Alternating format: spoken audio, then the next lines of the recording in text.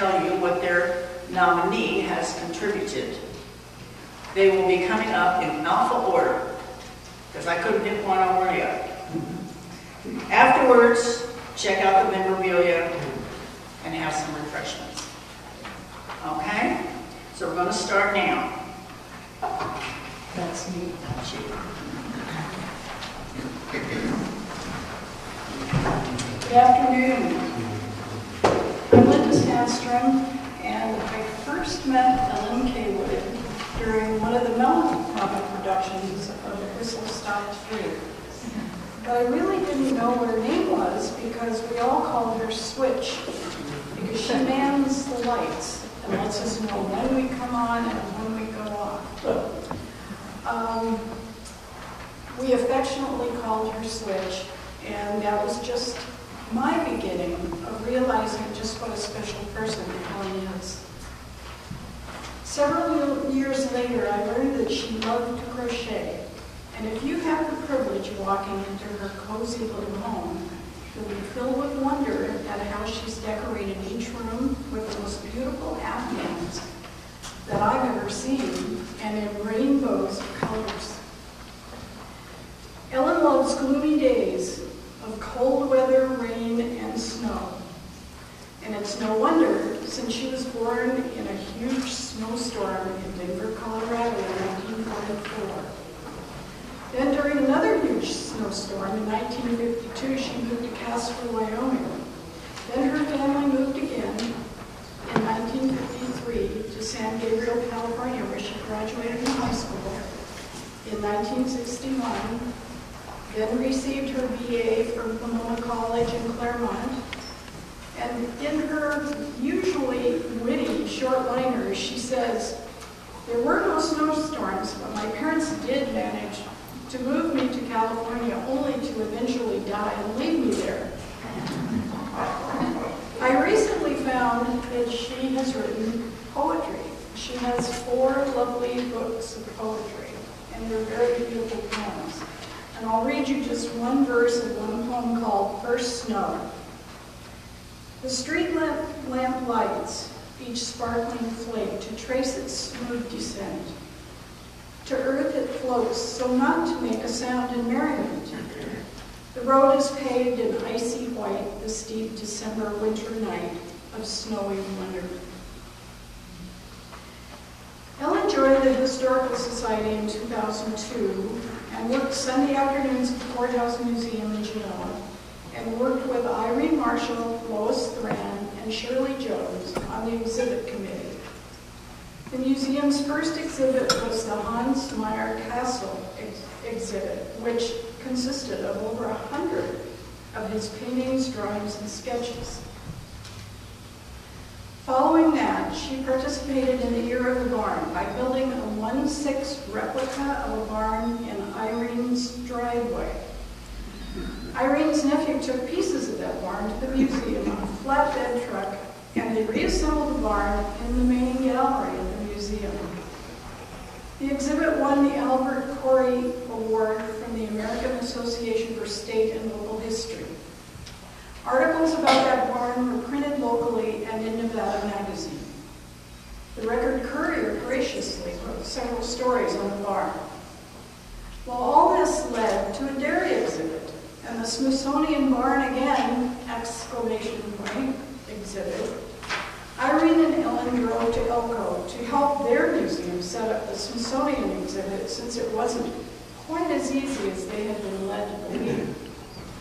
Leola Anderson Tucker, Marlena Hellwinkel, and Ellen collaborated on a book of all the barns remaining in the Carson Valley, published in 2003. Ellen was the typist and states, thank heaven for computers. After this, the celebration of the 125th anniversary began for the town of Minden. She says, it was at that point that I stepped away from the museum and the exhibit committee. I don't remember what it was that was so all-fired important, but whatever it was, I left, and I did it. When she returned to the Historical Society, Lois Thran urged her to write a poem in the Record Courier, as her cousin Frida Gerdige had done in, in the 1970s. Did I say that?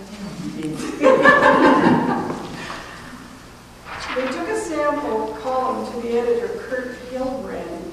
He agreed to include the column in the museum's Main Street Moments, and it was launched on Friday, July 6, 2007.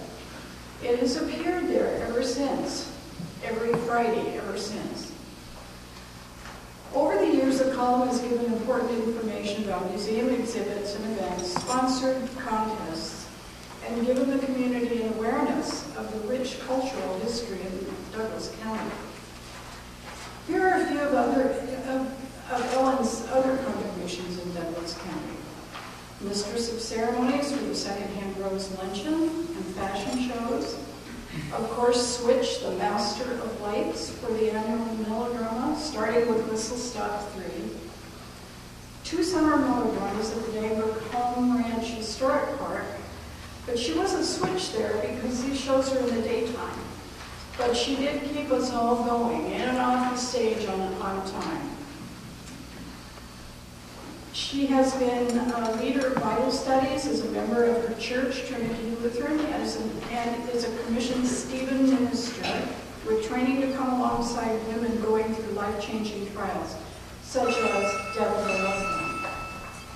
She served as president and vice president of the Carson Valley Literary Club, and as co-founder of the Never Give Up Crochet Group, Ellen made large numbers of chemocaps and toiletry purses, which were donated to the Carson Tahoe Cancer Center for patients to brighten their days during treatment and hospitalization.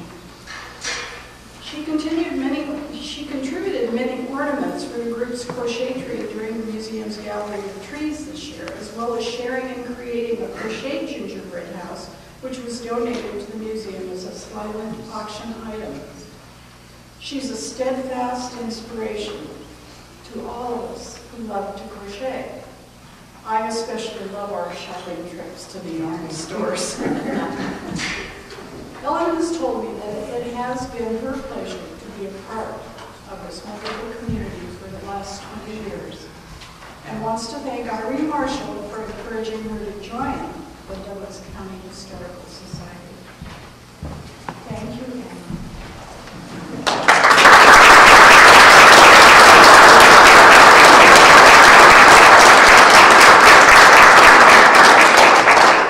Thank you, Linda. Thank you, audience. Thank you, Lord, for giving me the ability to write. Um, It is my pleasure to present to the museum for their library the collected Main Street moments for the past eight years.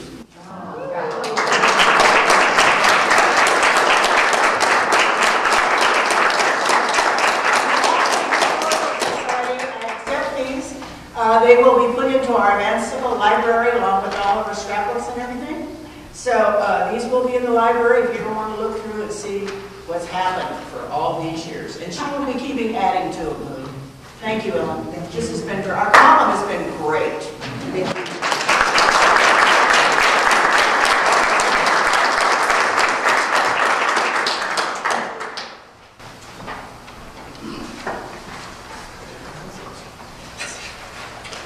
I'm sorry to say that person that I'm honoring, her family is not here. I was hoping the last minute they might still show up. Uh, Her brother is 94 years old, so there might be some health issues that he just, they felt they couldn't make it today, so I'll go ahead and do the best I can without their moral support here in the front row.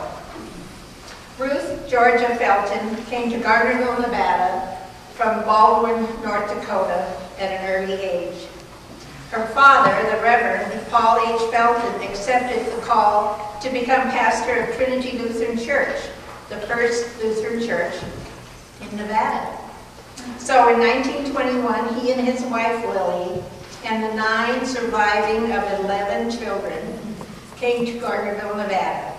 The siblings were Ruth, Eleanor, Lily, Edith, Roland, Herbert, Carl, Jean, and Harold. And Harold is the only surviving sibling. They lived in the parsonage next to the church that was located on what now is State Route 756, or Centerville Lane, south of Gardnerville, and by what is now called the Lutheran Bridge. Ruth was not only the oldest sibling, but she was very intelligent, according to her brother Harold. She entered Douglas County High School, right here, at the age of 12, and graduated in 1925, and then attended Heald's Business College in Oakland, California for a year. It was in 1925 that a Hinners pipe organ was acquired by the church. A self-taught organist, Ruth soon became the main source of music for the church services and the choir. A, for a person that was only not even five feet tall, I often marveled at her ability to play that big organ. Ruth played the piano for the Minden Rotary Club for every meeting that they had and other community functions. In addition to her talent at the organ and the piano, she also touched many young lives throughout Carson Valley as a Sunday school teacher for many years. In addition to her devotion to her church, Ruth also devoted, was also devoted to other youths of Carson Valley through her teaching in the 4-H clothing program. Her teaching of garment construction was known throughout the state of Nevada. Many of her 4-Hers went on to win statewide sewing contests, awarding them the prestigious trip to Chicago. If you're a 4-H member, you know what that trip to Chicago meant. During an interview with one of her winning 4-Hers, I was told, if a seam was crooked or a stitch out of place, it had to be ripped out and done over to, protect, to perfection. The club members would meet at her home in the morning and then be served lunch before they went home. In later years, the meetings were held in the home economics room here in the high school. In 1943, due to World War II, State 4-H camp was only held for two days up at Lake Tahoe. Homemakers clubs from Douglas and Lyon counties sponsored and prepared meals for the campers. Ruth was one of those willing volunteers. A 1951 article in the newspaper states that Ruth was awarded her 10-year pin as a 4-H leader. Text in the article says, and I quote, all of the clothing and dress review winners have scored their successes under the direction of Miss Ruth Felton, who has served as a 4-H club leader in clothing and dress review for the past 10 years, unquote. And I'm sure she even continued her leadership for a few more years after that. Her father retired in 1955, and Ruth and her parents then moved to Pacifica, California, where Ruth died in May of 1990. Among her hobbies were photography, reading, and sewing. Ruth was not only my Sunday school teacher, my choir director, my 4-H leader, but she was also my godmother. I fondly called her Tanta Ruth, Tanta meaning aunt. I still have three special dolls with complete wardrobes that Tanta Ruth sewed, and you will see them over there on the display table. She uh, did a complete wardrobe for each of them, including hats, coats, dresses, formal wear, knitted sweaters, and even little leather shoes. It is with fond memories and much love that I present Ruth Felton as an honoree for the 2015 Women in History Remembering Project of the Douglas County Historical Society. Thank you.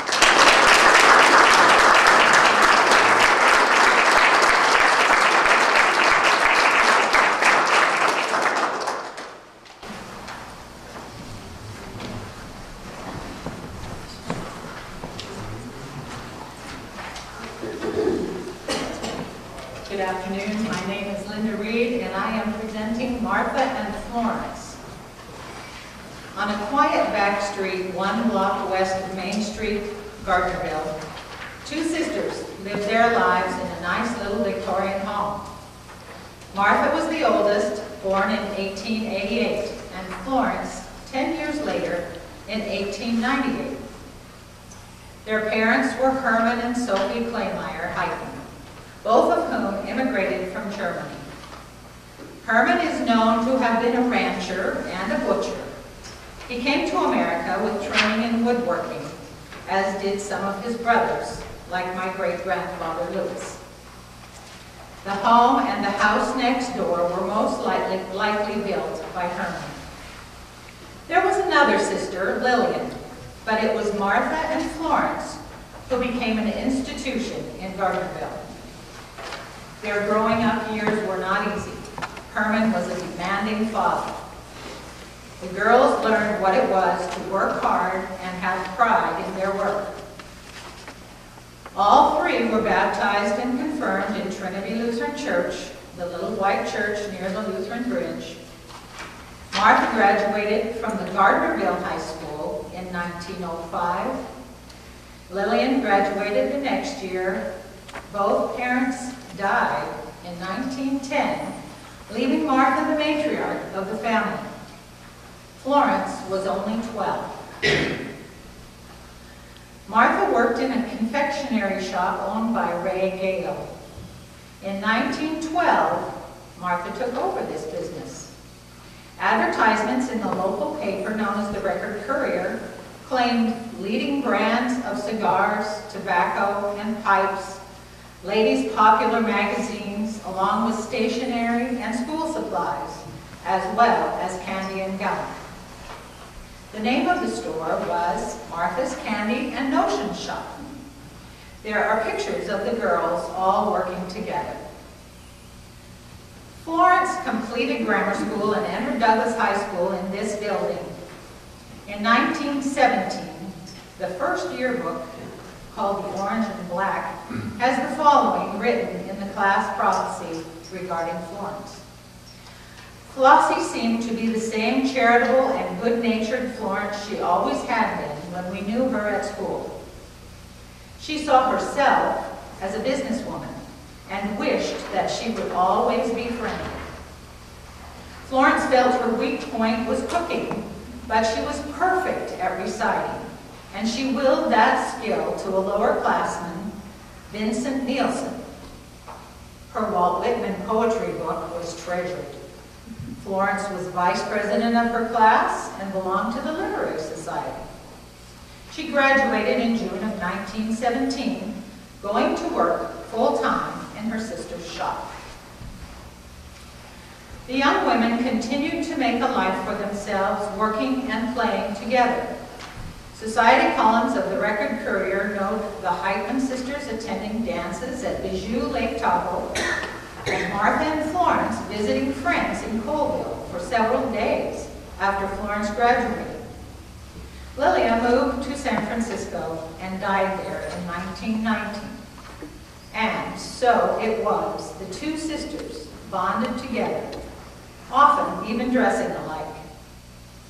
They remained in the home on Douglas Avenue they only had a wood stove for cooking and heat. There was no refrigerator in the home. Food was kept cold in the spring house out in the backyard. This is a small building with a creek running through it, usually in a rock or cement trough. The shaded water of the river was always cold.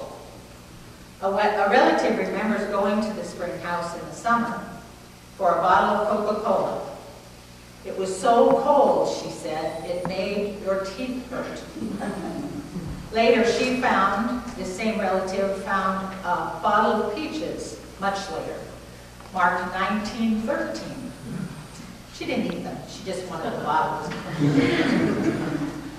The wash house was next to the spring house. The clothes were washed there and hung on the line to dry. The candy shop was still a going concern. Tickets to the movies at the Valhalla Theater were sold by Martha in advance, perhaps a prophecy of things to come.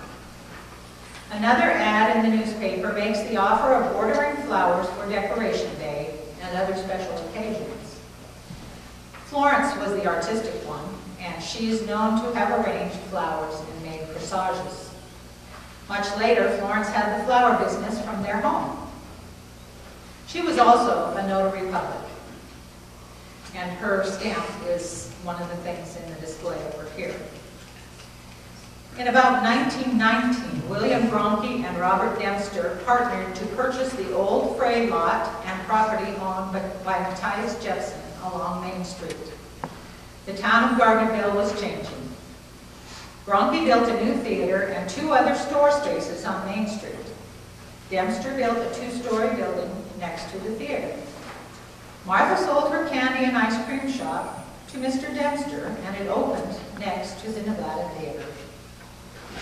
The Gronke building housed a drugstore on the main floor, as well as offices for attorneys, doctors, and insurance agents upstairs. Two different people contracted in 1920 and then again in 1927 to manage the theater.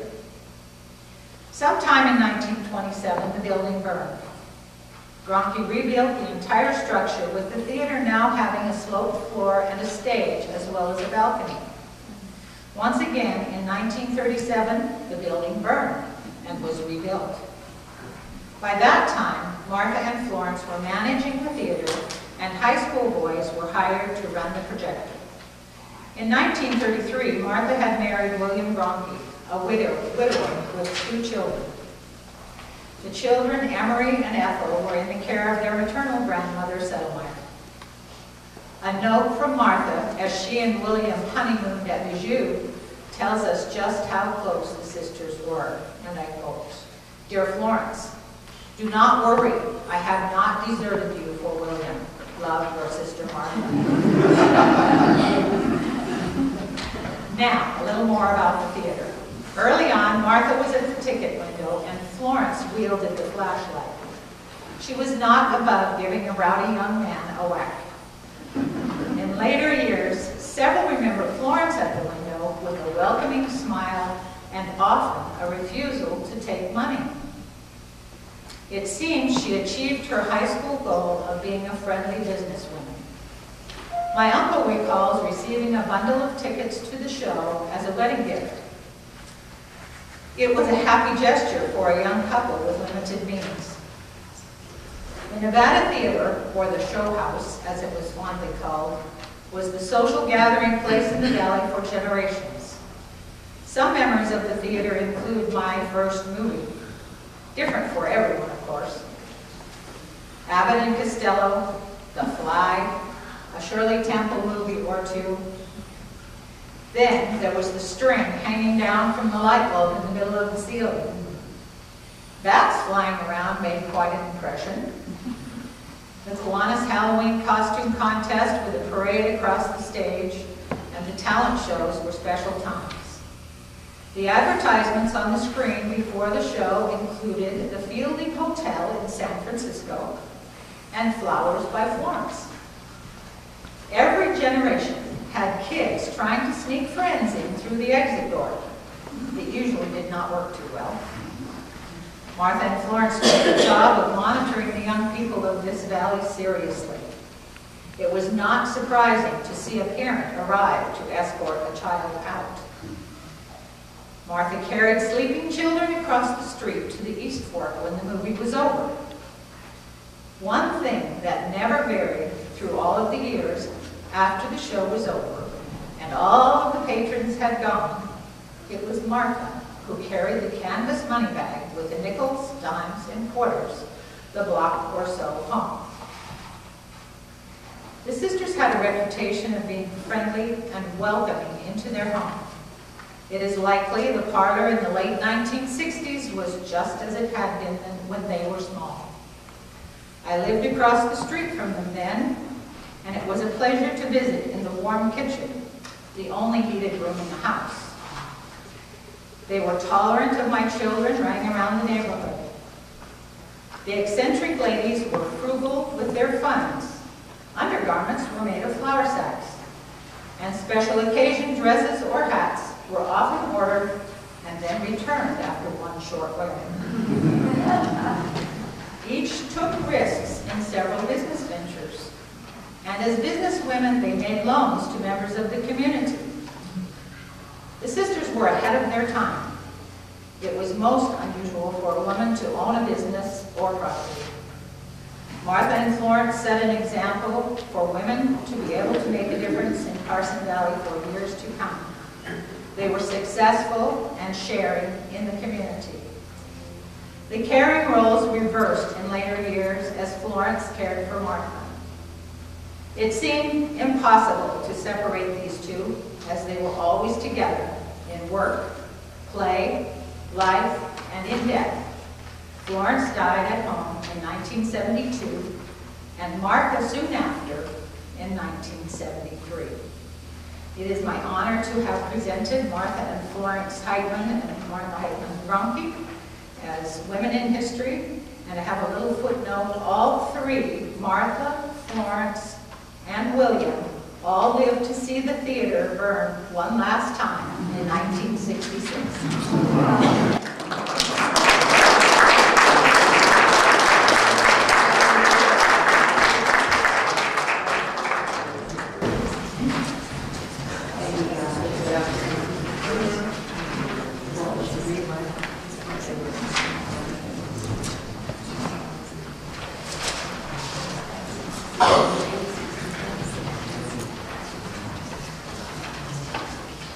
Good afternoon. Uh, My name is Vera Gesselman, and um, I would like to present to you my nominee for the 2015 Women's History Remembered Project, Esther Hildebrand. Um, Esther was born in 1935 and comes from a family of eight children. Her father was a minister, and Esther credits her father for instilling in her the need to be kind and help others. Esther moved to the Carson Valley from Sacramento in 1993 because of her love of hiking and cross-country skiing. She was employed by J.C. Penney's in Sacramento and worked for a short time in the Carson City store before deciding to retire and spend her time volunteering at the Douglas County Senior Center. Esther has been instrumental in initiating and/or organizing many of the ongoing activities for seniors here in Carson Valley. Some of them being the Easter Hat Parade, the Christmas Party Gift Exchange, the Veterans Program to honor our local veterans, and the ceramics painting class. By herself, Esther makes the ceramic pieces from scratch, makes them available to the seniors to paint. She then fires the painted pieces for her students. You can always find her working in the ceramic room at the senior center every Tuesday and Friday. Esther puts in over a thousand volunteer hours every year.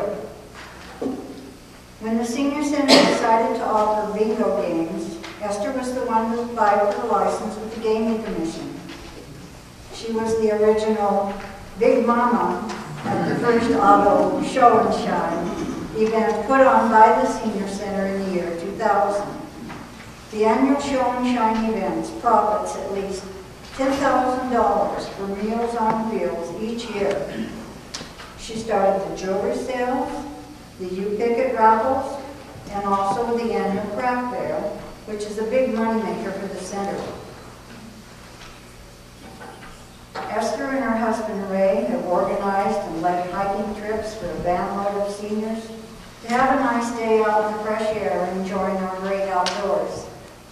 She has planned land trips such as to Branson, Missouri, and Nashville, and also ocean cruises.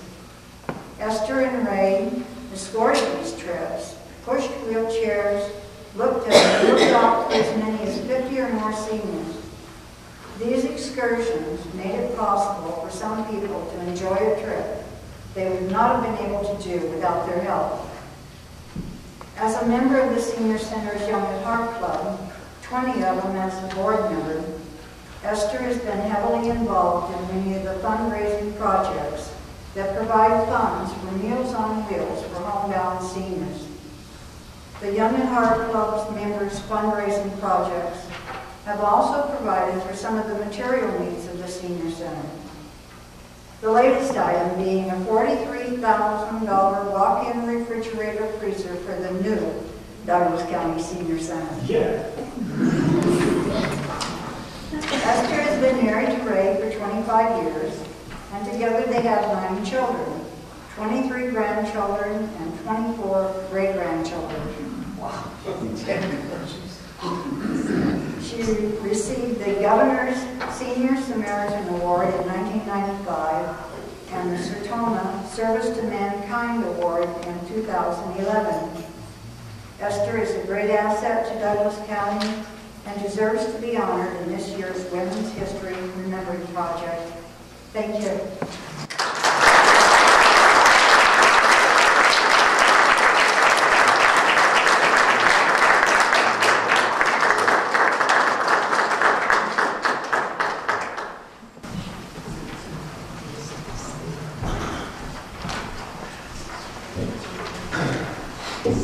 Good afternoon. It's a great pleasure to be here. I'm here to uh, speak about my mother, Elizabeth Elliott Gordon. Uh, Before I do, I I, uh, I live in New Mexico. I haven't been back as often as I'd like, and I think this building is fantastic. I went to the seventh and eighth grade there, and uh, I remember Coralie Shaw was our Nevada history teacher, and she was a fantastic inspiration to me. I know. And uh, Ed Atencio used to teach science back there, and kind of, kind of taught science. He was our leader in the ski club too, that was even more important.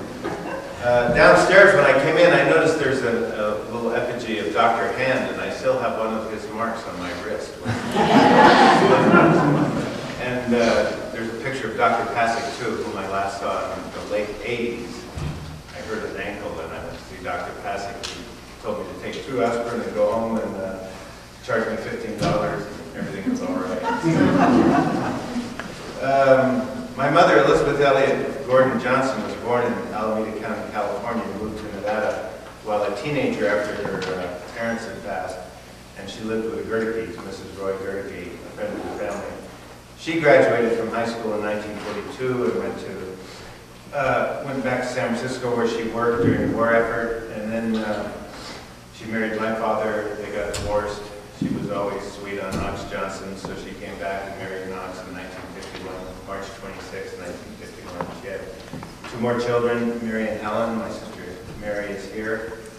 And though she was a real city girl, she had been a secretary for Arabian American Oil. Uh, she adapted to her husband's way of life, keeping the books at the ranch, cooking for the hay and cattle crews. Now remember, my mother was five feet two. My stepfather Knox was six four. And some of you will remember that they danced together. They had a real, their marriage was a real love affair. But they were the equal of each other. She was feisty. And that first summer, I remember her cooking for the uh, hay crew. You know, we'd have 10 or 12 guys from Jesserville usually, and uh, there was a little bit of tension from to time. I remember the first cattle drive, and, uh, you know, Knox was your typical rancher. He expected his wife to ride a horse and herd cattle, and uh, on our way out of the front field there, she, he'd put her on a really lively horse, and uh, she got bucked off. And so the gal Knox rode over and said, Lizzie, Lizzie, get back on your horse. And uh, she never rode a horse again.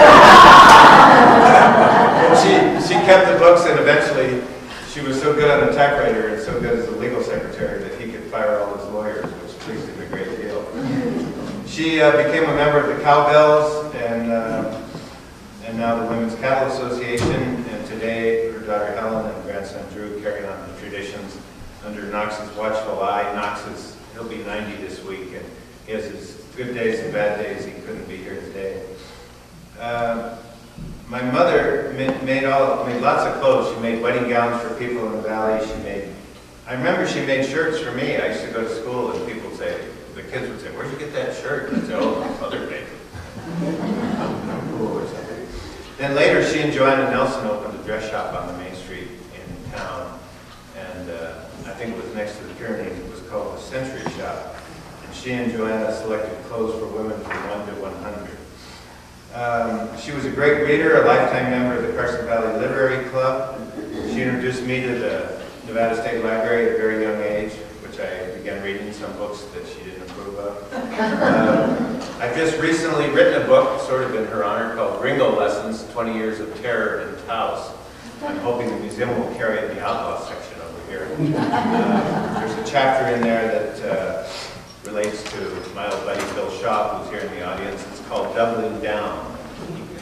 Relate the circumstances of that too. Clark Reed, uh, Bill's brother-in-law, was one of my English teachers in high school, and certainly is responsible for the better parts of the book.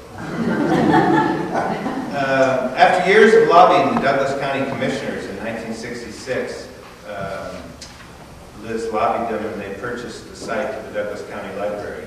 Uh, And they got a grant from the Max C. Fleischmann Foundation for $73,000. They got a federal grant for $43,000 and raised another $17,000. Friends of the library raised it, and they finally built a $130,000 library. She continued her work with the Nevada Council of Libraries and worked to get libraries into the prison system many, in many small towns in Nevada. She was an advocate for bookmobiles and for uh, lending library system.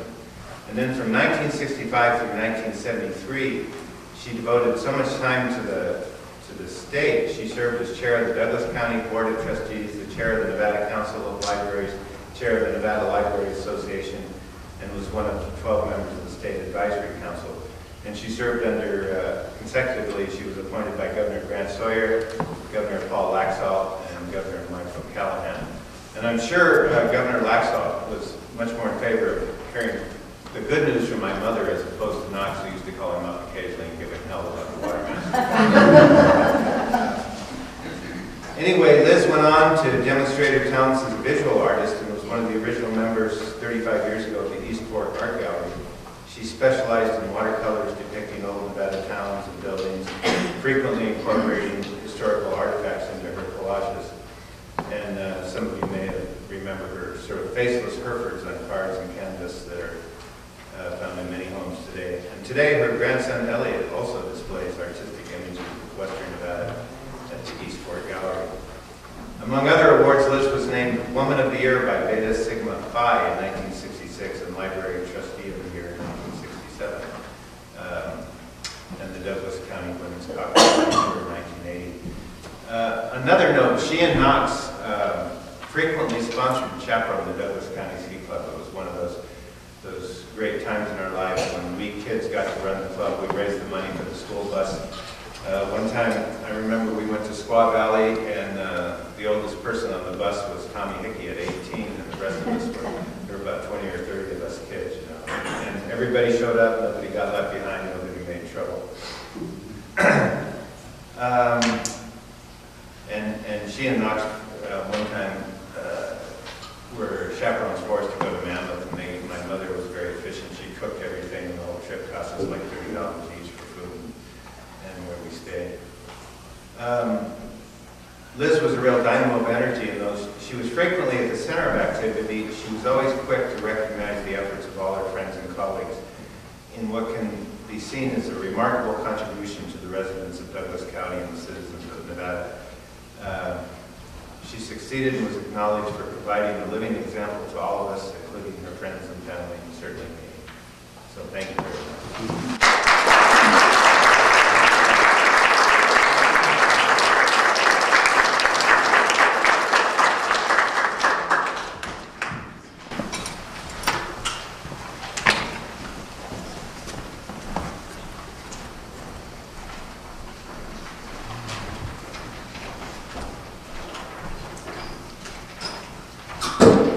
How are you doing today? Um, here to uh, present uh, Nancy Brody Durbin. And uh, have been inspired by a woman in this audience? What'd you say? Tough question, huh? I was reminded this, this week about my grandmothers who, uh, at their funeral, I out how many people loved them and their support during the Great Depression and didn't find out until the funeral. So I kind of became uh, a thought process to uh, help people before they're dead. And then that's probably one reason why I'm promoting Nancy before she's dead. I think she deserves all the things in the world that she's, she's promoted our county. Uh, I also want to think about my mother who uh, took care of me and uh, my grandma from a, a brain injury. And when I brought her here, she screamed because our Sheridan, our relative, is in the case over there. So if you ever hear a scream, my mom's probably back visiting.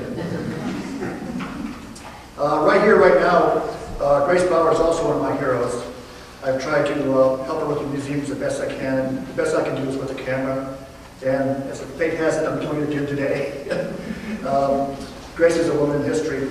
I also believe my wife, uh, Deborah Chibaki, who sacrificed her life savings to fulfill her dream of treating people with pain, is here also, and she's a woman in history. But today, right now, uh, Nancy McDermott is to become a, a woman in history. And for security, I, uh, I was, getting a lot of her family due to the fact that she's still an active political figure, uh, subject to harassment. She's also a very private person, and I'll let her tell the press what she is, what is safe for her to give out. And I do believe she said in amending my speech that she has six adopted grandchildren. And uh, I do believe that she has happy and healthy children and grandchildren. And I'll let her tell you all what she thinks is safe, because that was kind of the line I didn't want to cross. Uh, Nancy Broadway McDermott was born in Wichita, Texas. She was the eldest of five children. Her education includes a BA in history and government, a master's in public administration.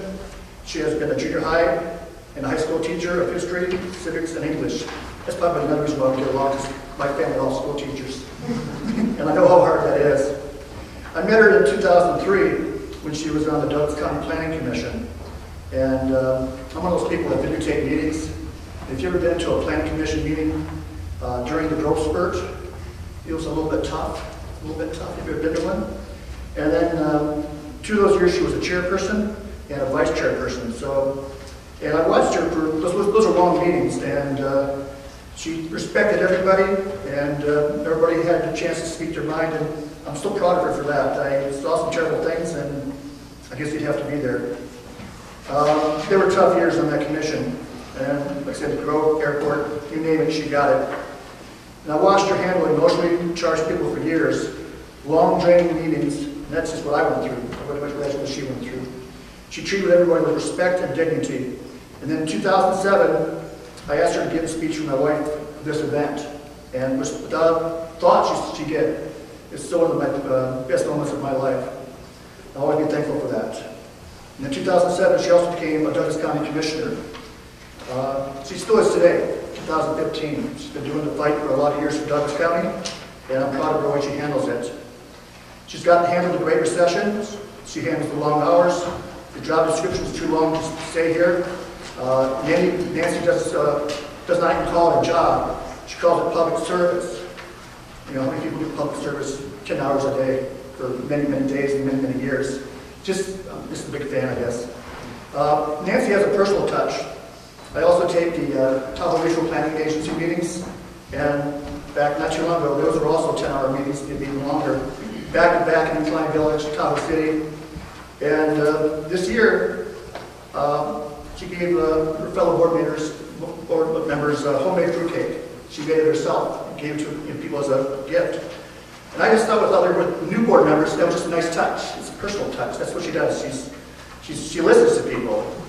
And I imagine she's done that many times. Um, and like I said, the TRP also has long meetings. And throughout that, she has a lot of homework, of which she gets it done. And as someone who films meetings for many years, I can tell when people are faking it. They didn't do their homework. And that could be your life when you show up and someone didn't do their homework. You know? I know, it's just amazing.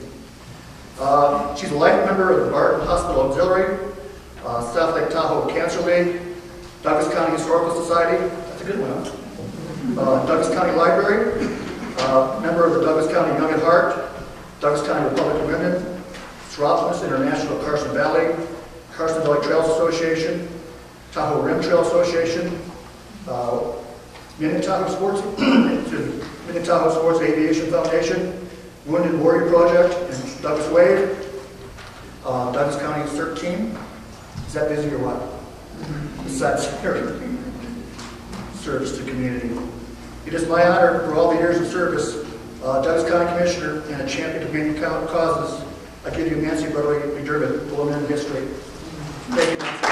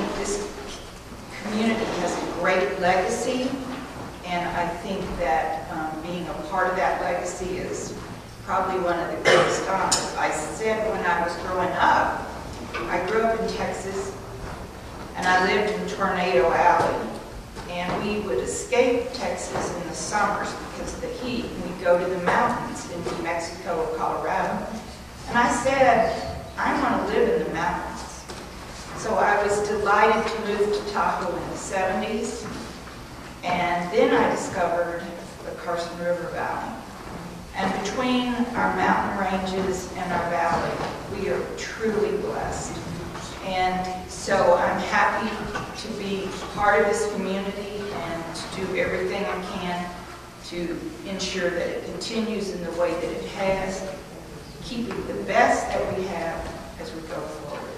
Thank you very much.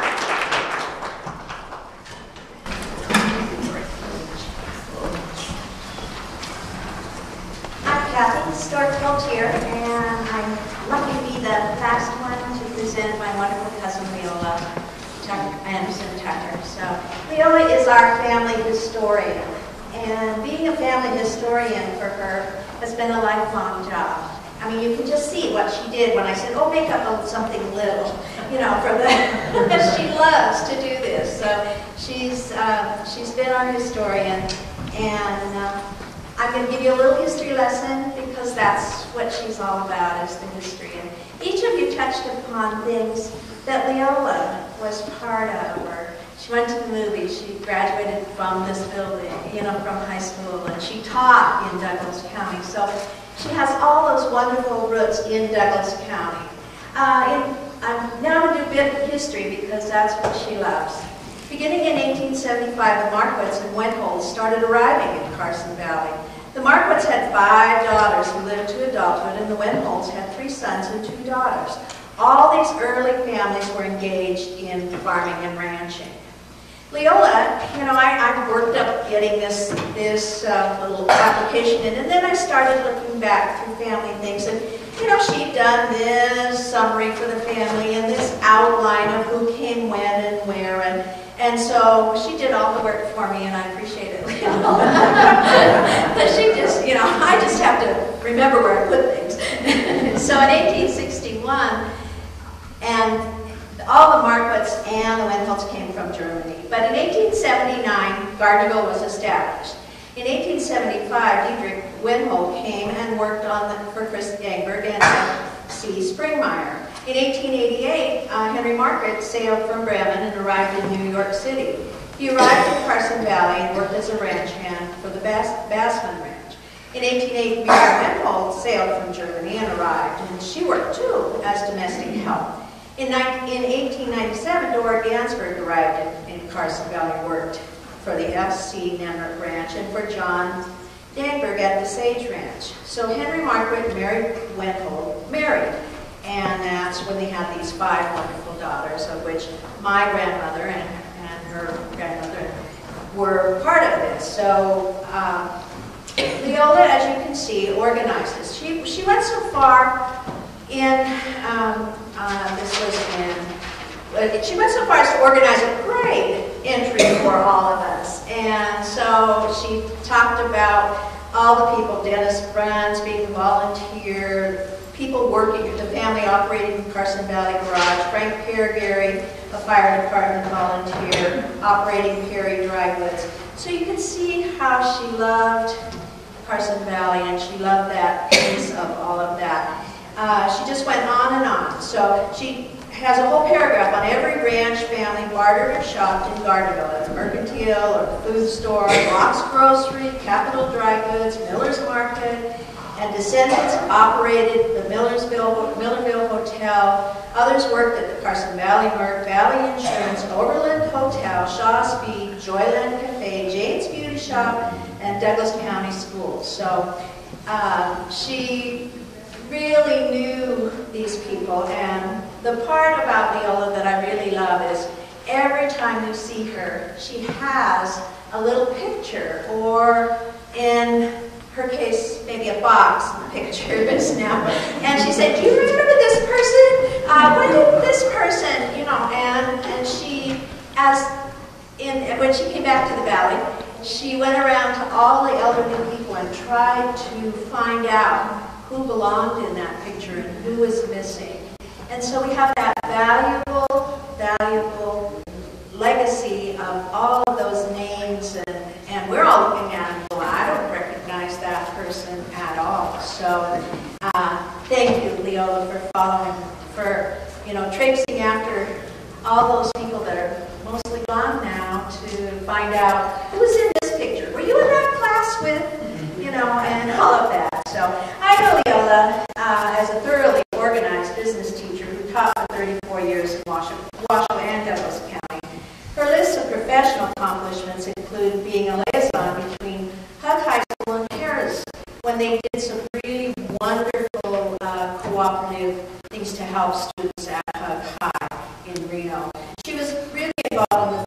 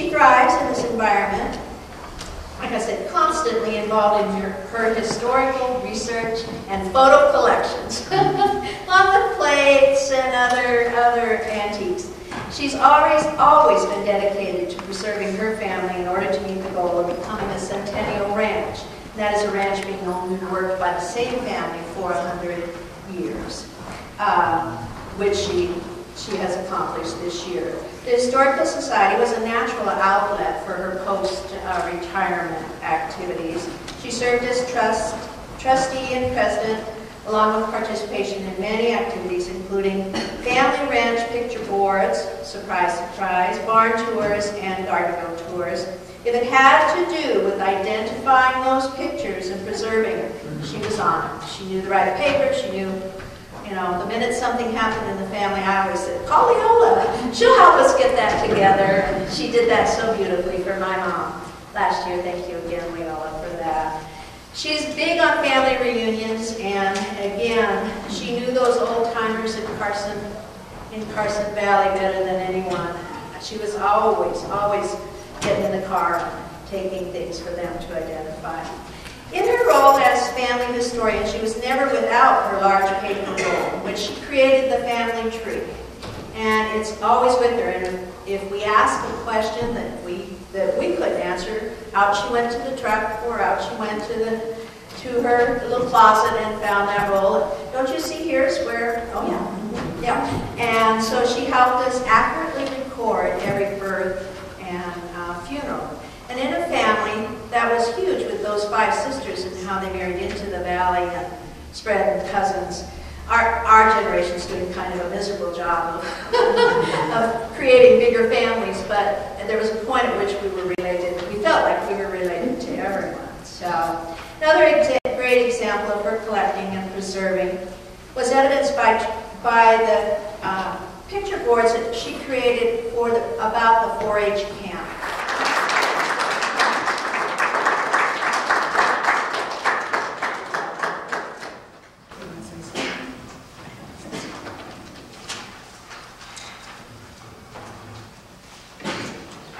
This valley has been so good to me.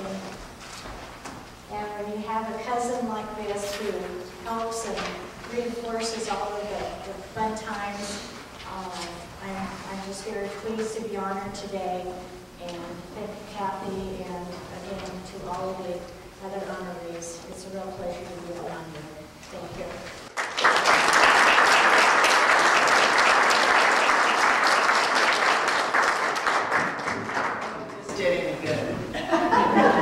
Anyway, thank you all for coming.